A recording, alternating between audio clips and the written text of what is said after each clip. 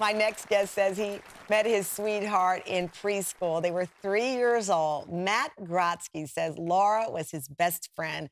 With her pre K class as his witness, Matt vowed that he would one day marry Laura. Now, that may sound like a long shot coming from a three year old, right?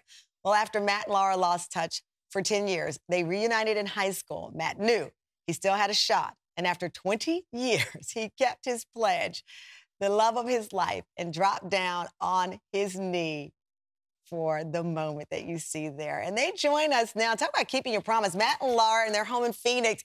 This is just beautiful story. Congratulations to all of you. Matt, I got to tell you, so you're three years old and you had the presence of mind to say that I, I this is going to be the person I want to marry. You're three. Yeah, I was uh, infatuated with her from day one, so it just kind of seemed like a no-brainer to me. So I figured, hey, got nothing to lose. I'm three, I'm young. Let's go for it. Laura, do you even? Let's go. For, I'm three, I'm young. Let's go for it. Things I never thought I'd ever hear in my life, and I did.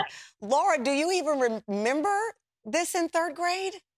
Yes, I do. Um, I mean, at age three. You're three. You remember that? Yeah. Yes, I do. I remember um, him saying it to the class, and I just turned to him and I said, Matthew, I think we should wait a little bit. We're a little young. What were your parents letting you watch on television that you knew? they don't have this episode on Sesame Street. Okay, so Matt, your families, you know, you grow up, your families didn't keep in touch. You did share Christmas cards. When you finally reunited with her all those years later, did you bring it up instantly?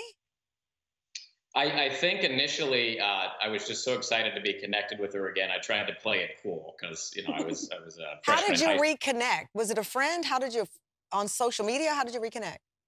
So I reconnected with him. Um, I was looking through a girl's phone and I was putting my number in her phone. And I was kind of scrolling a little bit. I didn't go too far. Um, and I saw his name in her phone and I said, Oh my goodness, I totally know Matt Grodsky. I went to preschool with him. He was my best friend. We have all of these pictures together. And he, she said, um, I think I'm going to set you guys up. And I told her, No, no. I, I don't really want a boyfriend right now.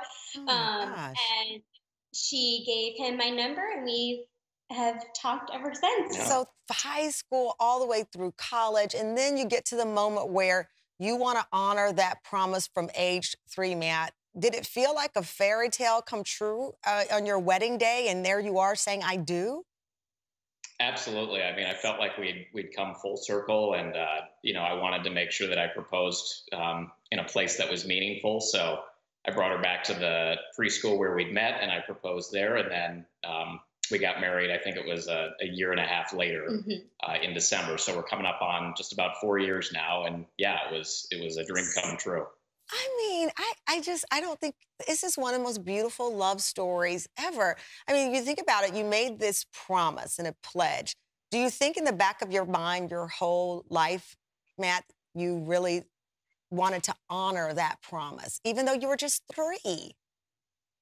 Yeah, absolutely. I think um, you know, growing up through elementary school, you know, you've got a lot going on at that point in time. But when we reconnected again and started dating, you know, it was evident from the start we loved each other, mm-hmm. uh, and so I was committed to, and we were both committed to sticking it out through the the good times and the tough times, and and uh, we've achieved that. And um, you know, we still work at it every day, and and she still puts up with me. So well, listen, she, I don't think you're going to ever get rid of each other. After three year olds make that pledge, you're stuck with each other. Well, it's a blessing again to talk with you. I just love it. I think you're so inspiring. Congratulations.